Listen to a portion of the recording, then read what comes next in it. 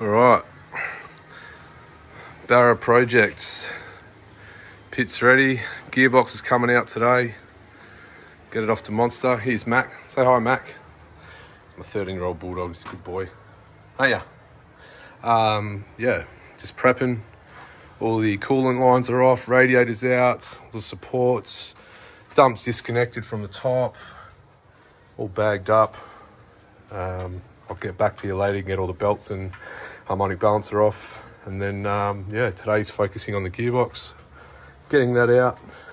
Um, and then, yeah, tomorrow maybe we'll start getting the motor and, yeah, slowly, slowly. Still got a lot of fab work to do and battery in the boot and stuff like that. But yeah, um, hope you're enjoying and yeah, stay tuned.